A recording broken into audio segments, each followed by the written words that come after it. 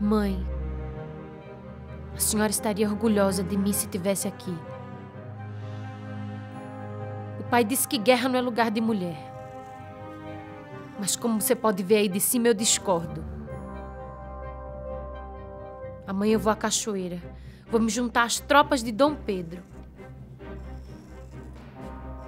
Será que eu tô fazendo a coisa certa?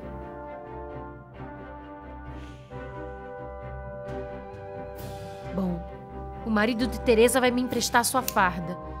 E a partir de amanhã serei soldado Medeiros.